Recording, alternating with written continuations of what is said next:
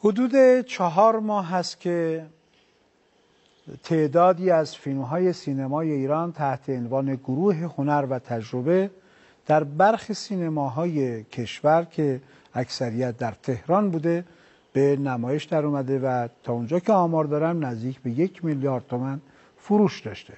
دو عزیز و بزرگوار مهمان هفت هستند تا درباره جایگاه گروه هنر و تجربه در سینما ایران بحث و گفتگو کنند نظری شما رو بفهمید چون که می‌دونم ایشون در مسابقه گروه هنر تجربه بود. الانم که من باید شروع کنم. جوابشون به نفع. من جواب مردم نشدم چی ولی خود سوال مثل اینه که مثلا بگیم آقا مثلا خب مثلا اگر مردم می‌گفتن 80 درصد می‌گفتن نمی‌خوام. چرا؟ خب بعد به جاش چی مردم آزادن نظرشون رو خب نه برای چی بگن نه؟ خب. دولت داره براشون میاره خب مثلا بحث رو آغاز کنی خب بفرمایید.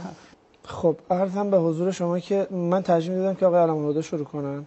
مفت و اینا یه صحبتی بکنیم آقای قادری این مفت و اینا چی بود؟ از این چیزا ما همیشه داشتیم. یعنی یه گروهی بیاد بگن ما می‌خوایم فیلمای خاص رو اکران کنیم. همینجوری رفتن.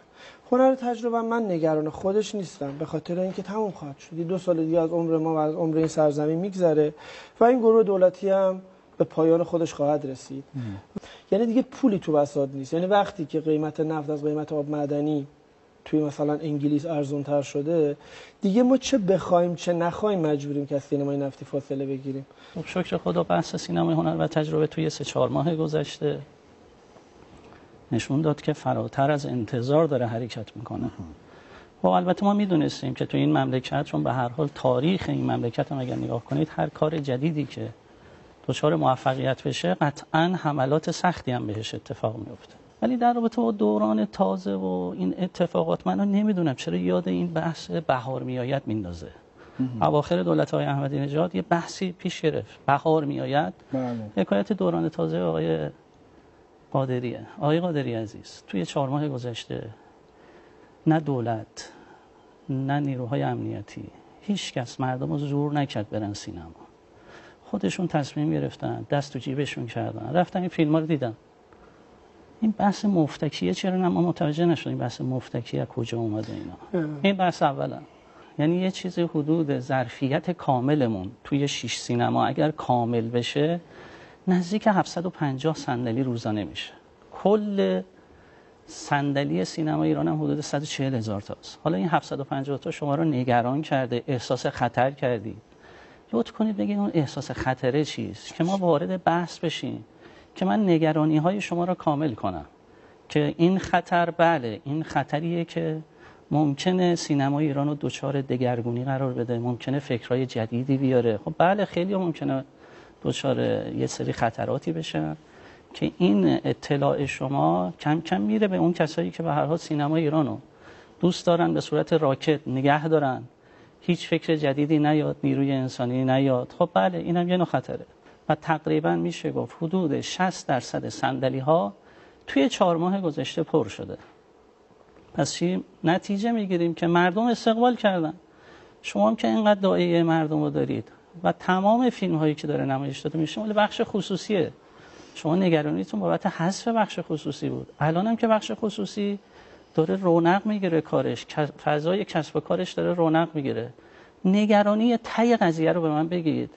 که من اون نگرانیتون رو یا کم بکنم یا یه سری نگرانی ها رو بهتون اضافه بکنم. چون من متوجه فرمایشات شما تو این برنامه یا حتی برنامه های قبل که یک طرفه سینمای هنر و تجربه رو دوچار به هر حال حمله هایی کردید و همچنان با سایتتون دارید این اتفاق میفته که آقای قادری که با فیلم ها مخالف نیستن. نه اون بحث بخش خصوصیه خلاقیت های نو که بازم مخالف نیستن.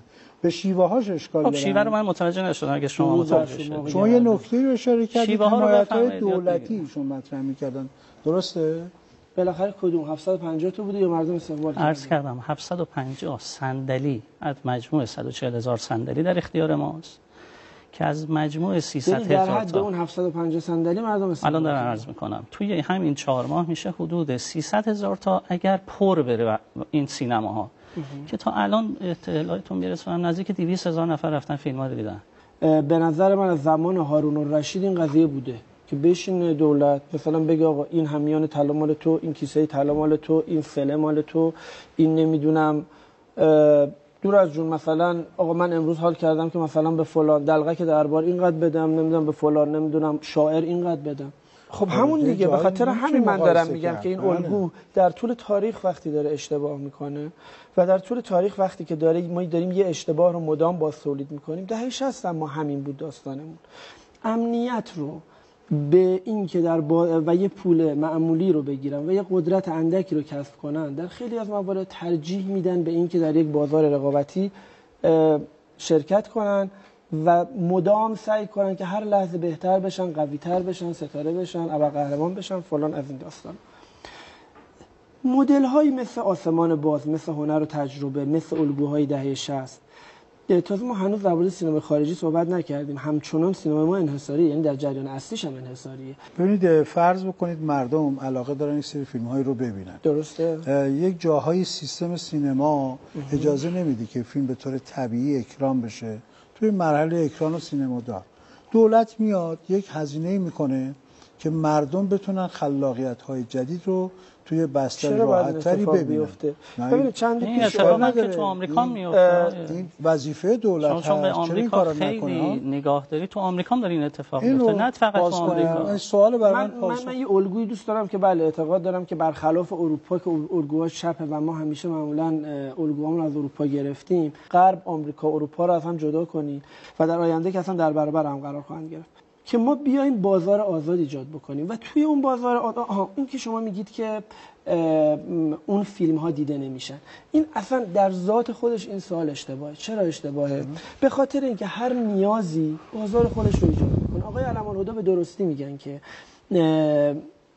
خیلی از مردم ما دوست دارن که این فیلم ها رو ببینن. اه، هنرمندان میان اینجا میشینن همیشه به شما میگن آقا چرا به ما سینما نمیدن؟ اصلا مگه میشه؟ اصلا چرا باید کسی به اینا سینما بده.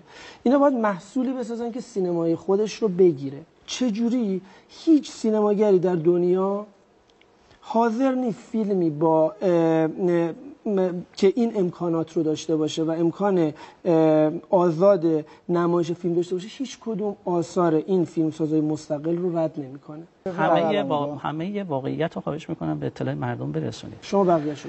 ببینید اولا که سینمای فرانسه که مهد سینمای هنر و تجربه است اواخر دهه کجا سینمای 1940 فرانسه؟ هنر و تجربه رو خب همون هنر و تجربه آخرین از, از, از فرانسه آخرین شروع شد. فیلم نه نه شروع شده کاری ندارم نه، من دارم- ما, ما داریم در مورد خب، فعلی آخه شما که ما که نمی‌تونیم. تاریخ بله. 60 70 ساله نه، رو ول کنیم یا. الان برسیم اینجا که من بدید. پنج سال اخیر حالا می‌کنم. من- که سینمای فرانسه که بحث سینمای هنر تجربه که به هر حال مهدشه دیگه. که از سال 1940 که وقتی شروع کرد با همین روشی که ما داریم میریم جلو که الان رسیده چهار سینماشون به 500 سینما و تقریبا میشه کمک های دولتی تقریبا خیلی کم شده ولی همچنان نگاه داره و تونستن تعدادی از سینماهای خیلی محدود چون می‌دونید سینمای آمریکا نزدیک به 40 هزار تا سینما درست. داره ما حدود 300 تا داریم.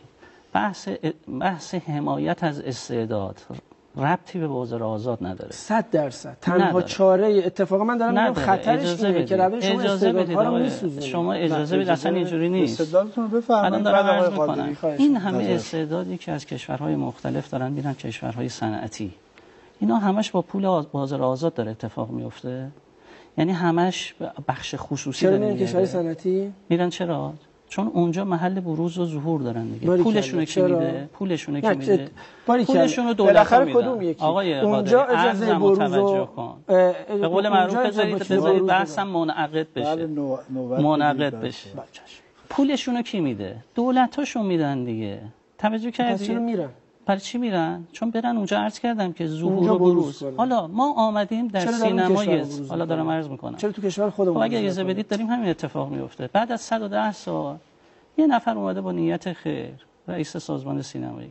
گفته من می‌خواهم فقط یک میلیارد تومن. شما می‌دونی یک میلیارد تومن در بودجه 100 و خورده میلیارد تومن عدد شوخیه.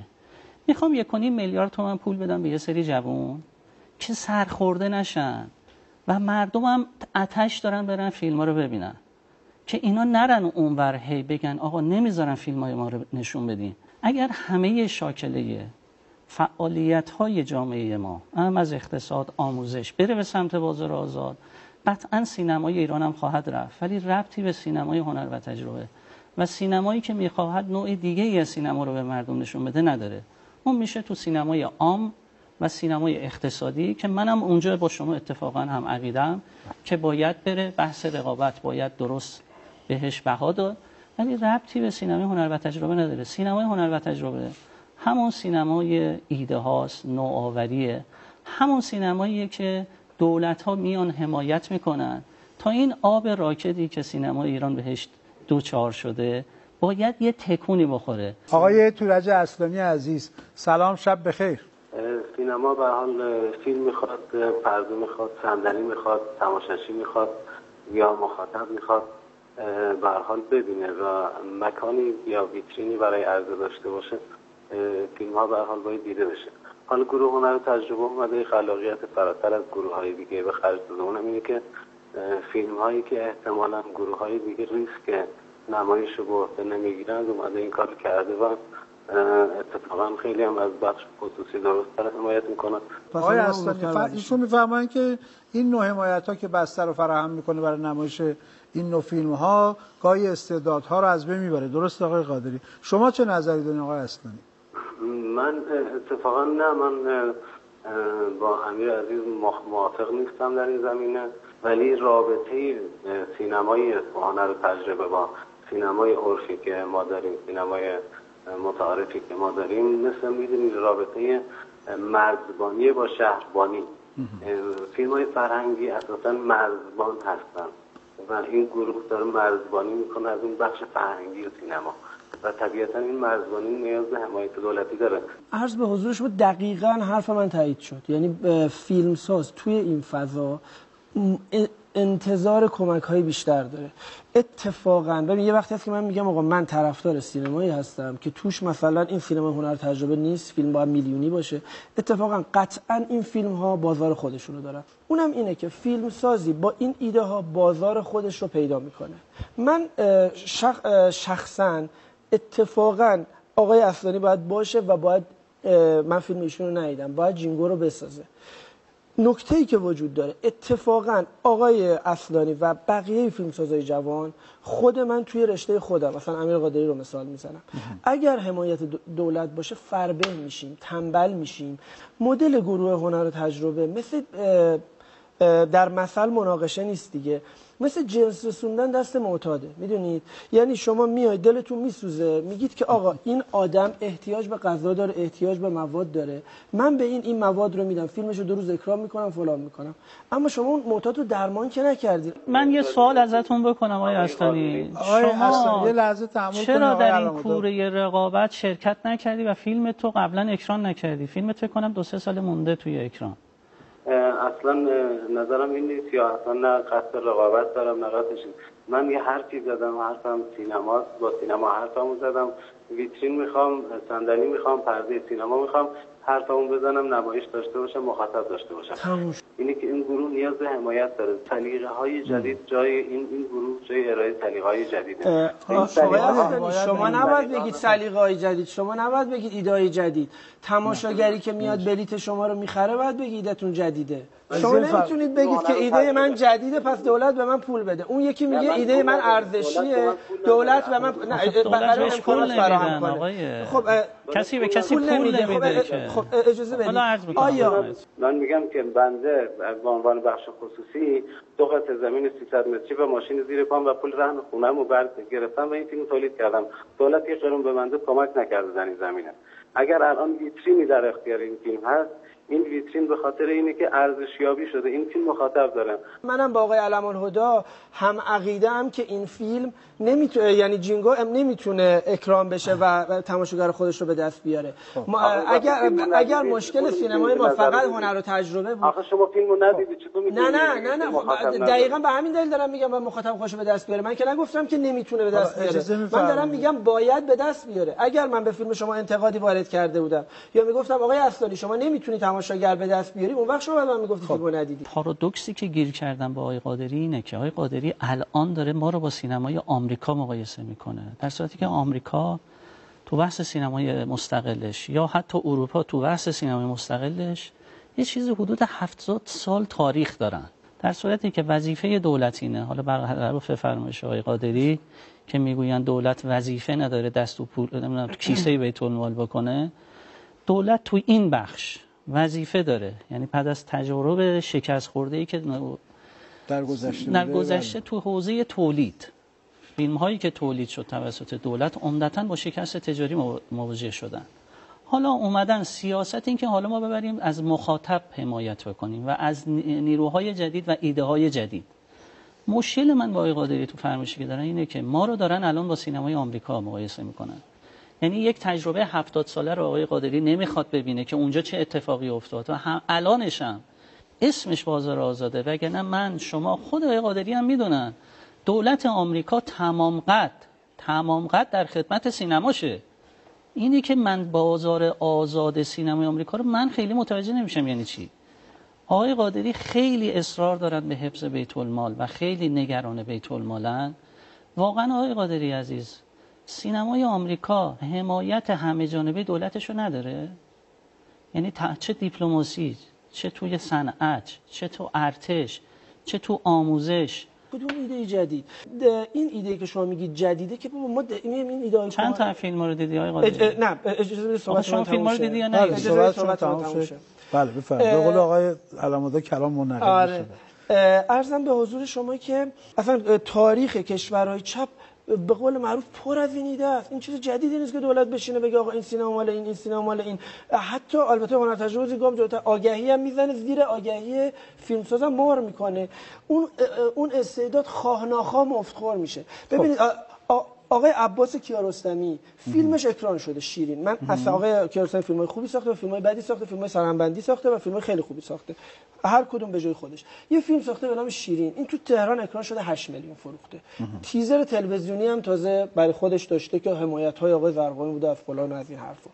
چندی پیش فیلم آقای کیارستمی تو هنر تجربه اکران شده. و آقای هنر تجربه میگه آقا گروه پیشرو هنر تجربه. یعنی حاضر و میگه شیرین هم دوباره اینجا اکران بشه. میگه من نفهمیدم اون اکران چی شد. یعنی تو فکر شما فکر کنید که یک فیلمسازی مثل کیارستمی که آدم با ایده ایه و آدم با نفوذیه اون هم این خاصیت انسانه. اون هم دنبال این فضای امن میگرده که بهش بگن آقا ما پول سینمادار رو خودمون میدیم آگهیت هم خودمون میدیم. از کجا که خب طبعا از من اسمش بیت المال اصلا نمی‌ذارم. پول مردم. از پول مردم میدیم و شما آقای کیارستمی بیا فیلم تو اکران کن هر چقدر رفت رفت ما اون پول رو میدیم بهت معلومه که یه آدمی مثل کیارستمی هم در طول زمان این رو ترجیح میده به اون 8 میلیونی که فیلمش تو تهران اکران شده و نمایش داده شده چند تا فیلمساز دیگه ای ما قراره که خودشون رو محدود کنن به جای اینکه مجبور بشن توی یک مسابقه دو شرکت کنن و دولت فقط اون پیست دو میدانی رو براشون بسازه خب نه اینکه. این نه. همینه. خب خیلی خوب دو دولت پیست دو میدانی اتفاقا این. همین پیست دو میدانیه اصلا اینجوری. اتفاقا همینه خب حالا آقای امینی رقابتی بین این فیلمی بفرمایید. خودشون که رقابته. آخه شما میگی که مثلا ماهی گربه پرویز یا فیلم جینگو بره با پارسال من با شهرام. مکری صحبت کردم. و گفتم آقا شهرام مکری خودتو کردی. اشتباه نداره. شهرام مکری می‌تونست یکی از موثرترین فیلمسازای مملکت باشه. هنوز هم می‌تونه. الان هم هست به اه، نظرم خب آقای امینی. آقای امینی در خدمتتونم شما. آقای امینی بله، شما بله. نظرتون رو بفرمایید آقای خواهش می‌کنم. من اولا تشکر می‌کنم از شما که یه همچین برنامه خوبی رو خواهش می‌کنم. ترتیب دادید که ما اه، فیلمسازه که این تیپی کار می‌کنن بتونن نظراتشون من اول یه خسته نباشی میگم به آقای علم‌بوده و گروهشون. و من حس می‌کنم اگر توی یک سال گذشته سازمان سینمایی یک کار مثبت انجام داده همین مقوله هنر و تجربه است. درست. من یه سوالی داشتم از آقای قادری حس می‌کنم ایشون هم داره دلسوزانه صحبتهایی می‌کنه ولی بله. در جایگاه یک فیلمساز نیست. من می‌خوام بگم آقای قادری منی که ده تا یازده تا فیلم ساختم چرا باید سه تا فیلم فقط روی پرده دیده بشه؟ مثلا نامه های بادی که اون سال جایزه هنر و تجربه هم گرفت چرا هیچ وقت رنگ پرده رو به خودش نگیره؟ دانهای دیده برد که شاید سال 82 83 بیشترین جوایز و بیشترین حضور رو بینامه چرا رنگ پرده رو در حد اون موقع آسمان باز دو هفته. که از این فیلم ها با پول بخش خصوصی ساخته شده؟ دانای ریزبر با پول بخش خصوصی بوده؟ با چه بخشی بوده؟ وقتی که ما کمپانی فیلمسازی داشته باشیم اون کمپانی فیلمسازی به زور بازار خودش رو پیدا می‌کنه. نیاز بازار می‌سازه. با رضایت کامل می‌خوام همین امروز فردا برم خدمت آقای رمضان. خواهش کنم آقا دلتا ایکس رو مثلا در این گروه یا بلوک نه رو خواهش کنم در این گروه.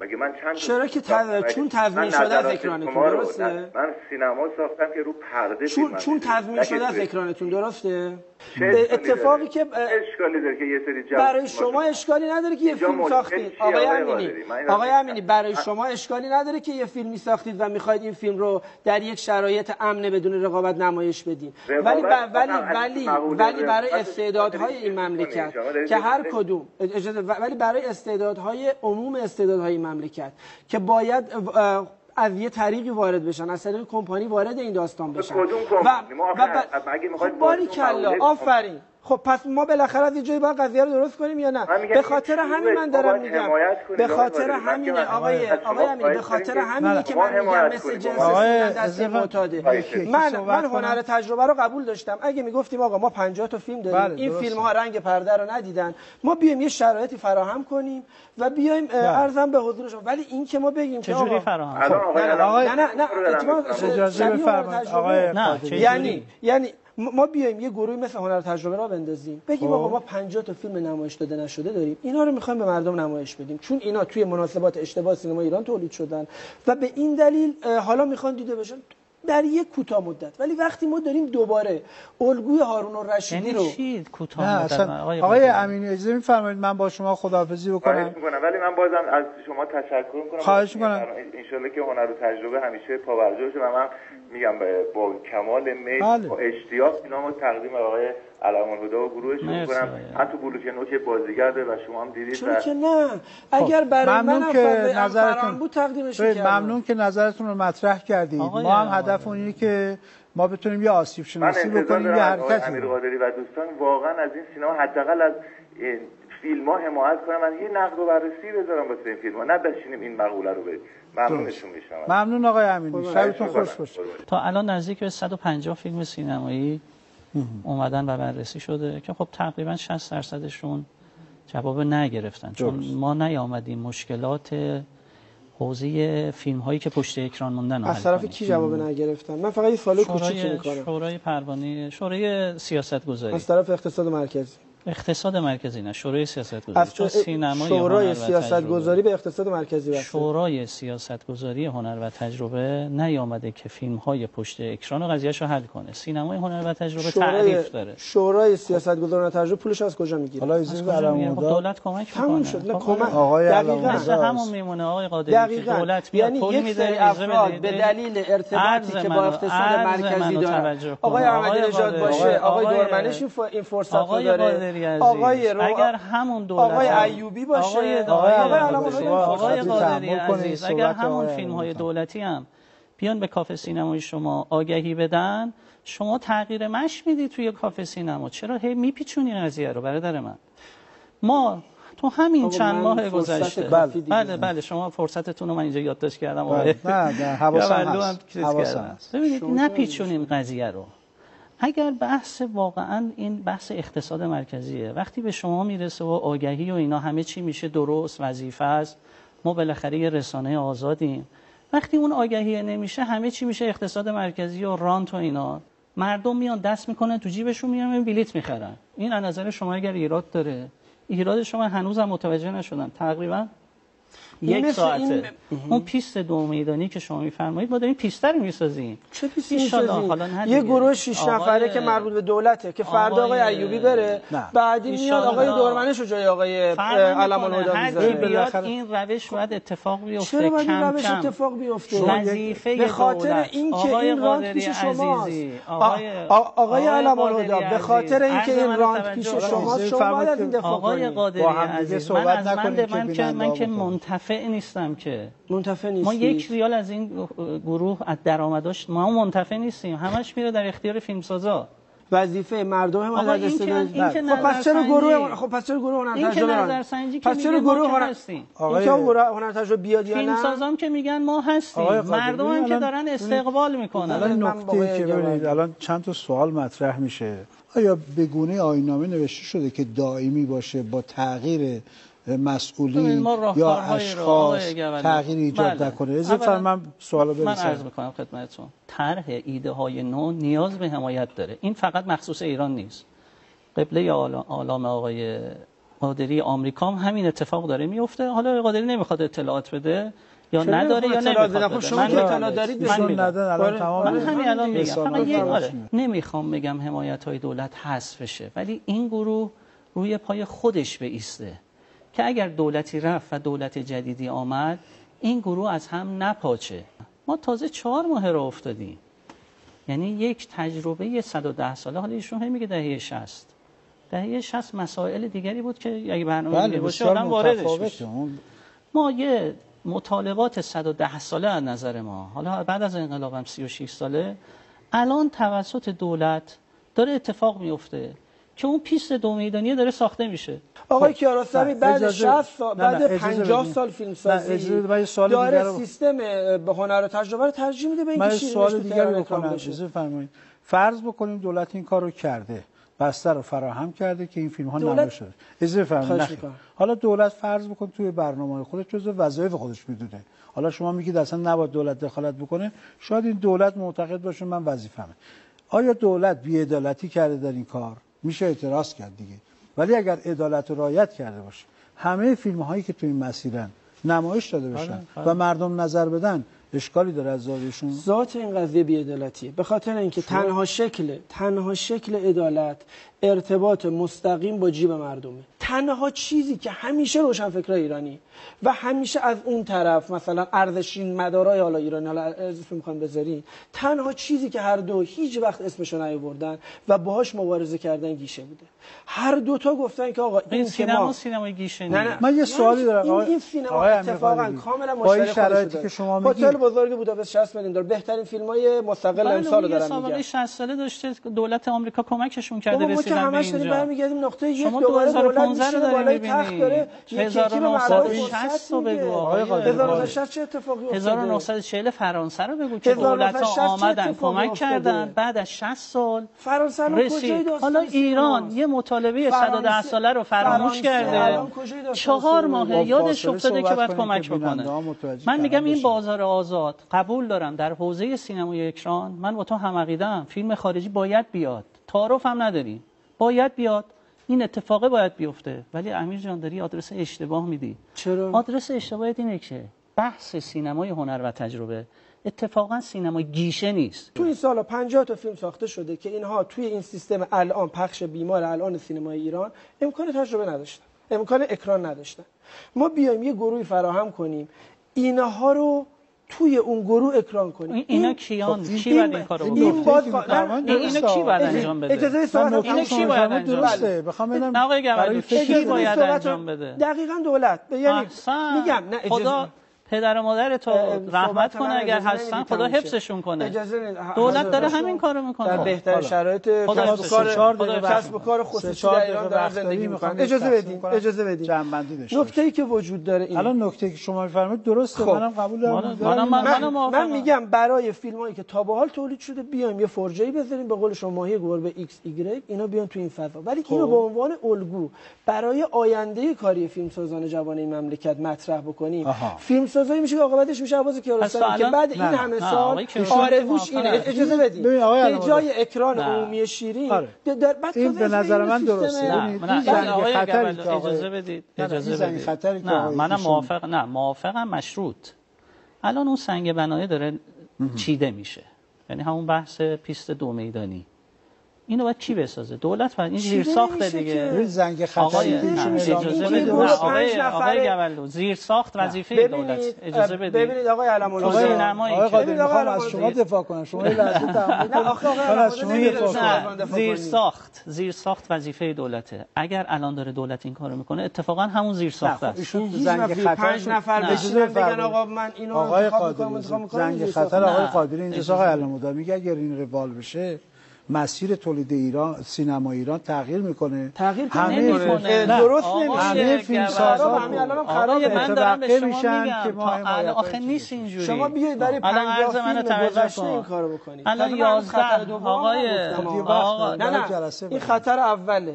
من در یه خب، جمله بگم مشکل خطر سینمای دوم اینه که. توی این سیستم اقتصاد مرکزی. اولین تک چیزی که از بین. میره اتفاقا. امنیت ملی کشور از اتفاقا یعنی- این در راستای امنیت ملیه آره، این, این. در آقای راستای امنیت آقای ملیه علم‌الهدا سال بعد میره شهرداری دوباره جلوی فیلمو می‌گیره در راستای الان، امیر- آقای امیر جان، من جان. من یه آقای مثال. می‌زنم امیر جان. ضد امنیت ملی چیه ضد امنیت ملی اینه که یک نه آقای علم‌الهدا امیر قادری این فرصت رو داشته باشه بره حوزه هنری جلو اکران 6 تا فیلمو بگیره. فردا بیاد اینجا بخواد خانه پدری رو اکران خب، کنه. آقای- این دعواهای ترجمه. امنیت ملی. فقط با دخالت امنیت مستقیم مردم و بخش خصوصی در سرنوشت خودشون. آقای من قادری شما اصلا حق نداریم برای مردم آقای امنیت تحمل. کن. شما یه دقیقه بفرمایید که من یه توسعه عرض یه امنیت ملی با خاصیت ملی. آقای قادری امنیت. ملی با. آقای قادری، تحمل کنید. آقای آقای قادری عزیز امنیت ملی با مدهایی که در کافه سینما داره ارائه میشه در رابطه با هنرپیشه های آمریکایی به وجود نمیاد اجازه از- فرمایید. از- اجازه عرض من تج- نمی‌خونن. اتفاقا از من اتفاقا.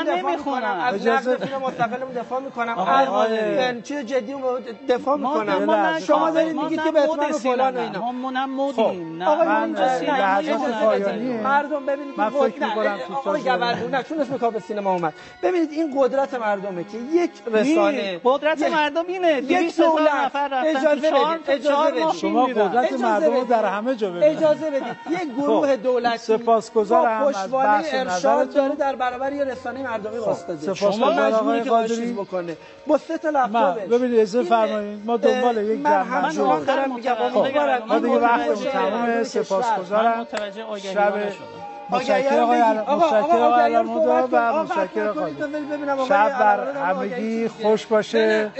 خدا نگهدار. همه شما. لحظات خوش رو در زندگی داشته باشید. سپاسگزار از هر دو بزرگوار.